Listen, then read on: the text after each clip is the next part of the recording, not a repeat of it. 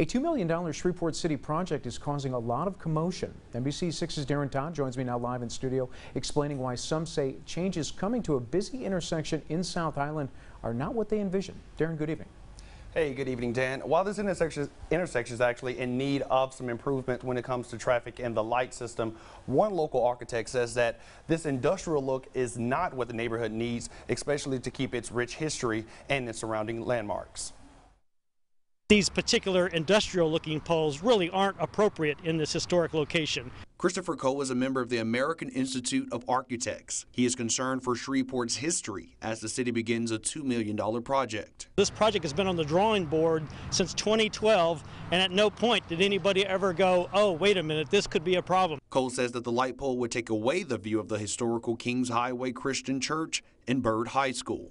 The job was approved by previous city workers, and now the current chief engineer is left to pick up the pieces. Unfortunately, the folks that oversaw that engineer with the city are, are no longer with the city. So the, the, the, current staff took the completed design package and, and put it out for construction. We, we're getting together cost estimates, and uh, we've, we've asked the contractor to stop work in this, uh, in this location at this intersection. He's agreed to move to other areas of his project um, but there's going to come a time really soon where where he has to get back to this intersection to keep working. Furlong says postponing the project could result in delays costing more than $200,000. This is a perfect example of why community engagement is so important. The days of engaging the community are really more the norm. Furlong says that they don't require regulations from the city when it comes to public property. Well, I called the uh, MPC to, dis to discuss this about uh, the zoning codes and the historical codes. Um, and they told me they only regulate private property.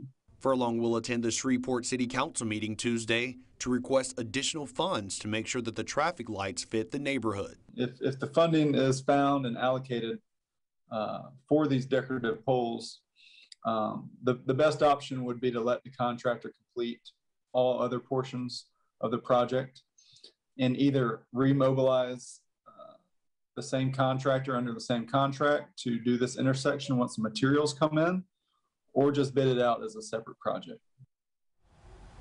Now, Cole said that he hopes two things happen tomorrow during the city council meeting, and one being to pause the project until the community and contractors come together, and an ordinance for the city engineer's crew to follow. Dan? Meanwhile, tax dollars are being spent. All right, Darren, thanks so much.